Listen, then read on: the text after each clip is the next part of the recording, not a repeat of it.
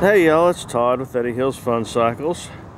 We have a 2024 Polaris Ranger 1000 Premium. So this one's got the 62 horsepower motor, or I'm sorry, I think that's a 68. It is. It's a 68 horsepower 1000cc motor.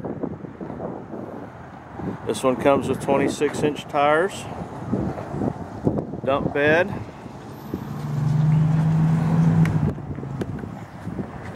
There's your cargo rating of a thousand pounds right there.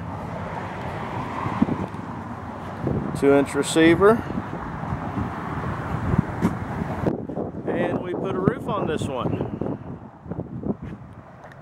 Thank y'all for watching my video. Y'all have a great day.